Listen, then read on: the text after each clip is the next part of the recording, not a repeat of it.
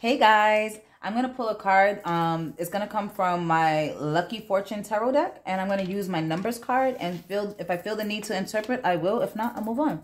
But moving on. This one's going to be for Gemini, all right? Gemini, your card has already popped out. It says jealousy, but it's in reverse, okay?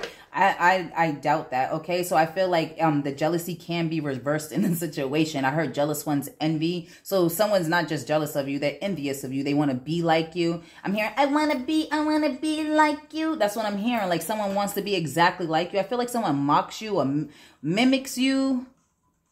I feel like someone here, like, they even they even copy your your lingo, like the way you speak or your or your style. Okay, so I feel like you're dealing with a lot of people that are just like pure jealous. Jealousy. Jealousy. I feel like you could see jealousy in someone's eyes. No matter what they portray to you, Gemini, you can see past that shit. this could be someone you work with, but the card says jealousy. Watch who you trust with your personal secrets, Gemini, and plans. Spend time outdoors with nature to reconnect and replenish. I feel like people try to steal your ideas as well. Hmm, because they're jealous. Jealous ones envy, Gemini. I'm getting, um, now I'm getting, um, this could be an earth sign though, but I do feel like you do need to get out. Get out, spend time outdoors. I feel like a breath of fresh air is needed is what I'm hearing. Like I feel like you need fresh air. Because the air around you is stifling. I feel like someone is filled with so much jealousy, they stink. So whoever's around you that got bad body odor, that's the person that's jealous of you.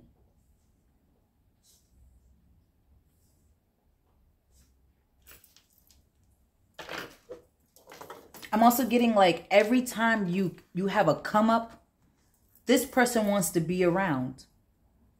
They want to be part of it.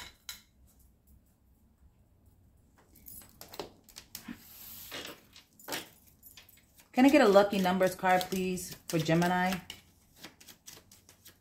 I'm hearing um I'm hearing play the lotto.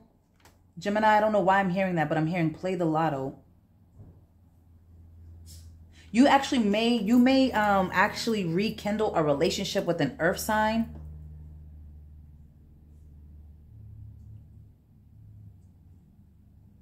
My right eye just started jumping. Yeah actually they kind of both wanted to jump. So yeah i feel like something is good and bad. I feel like but it has nothing to do with you. It's the energy you're around. You're around a bunch of jealous people because you're a lucky person or something like that. The cards from the numbers are 222, alignment. You are in the right place in the at the right time, growth. Yeah. You've been you've been excelling. I'm hearing some of you guys are getting promotions. Some of you guys just have pure luck on your side and there are people around you that are fucking envious, jealous. Hey, ooh, they stink. Ooh, they stink someone is, is jealous of your alignment in life because you're growing, you're exceeding in life. The cards never lie.